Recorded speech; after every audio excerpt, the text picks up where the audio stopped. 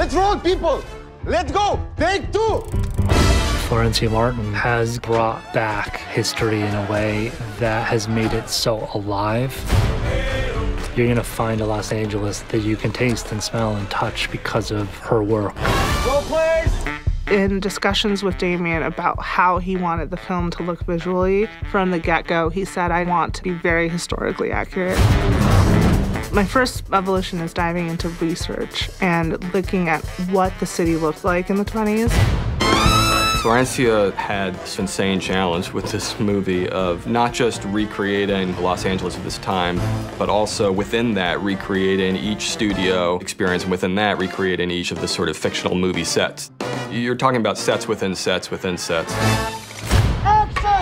The first week of shooting was the sort of big Kinoscope sequence.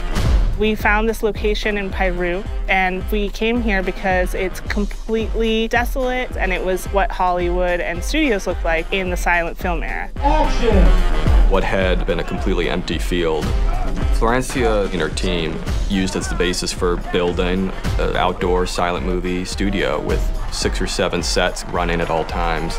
It was extraordinary. Cut. So, now what did we discuss? When in doubt, say something French. There's two worlds in this film. There's people that are very impoverished, and then there's people that have a lot of money. Looking at how we were going to shape those worlds by color was really important.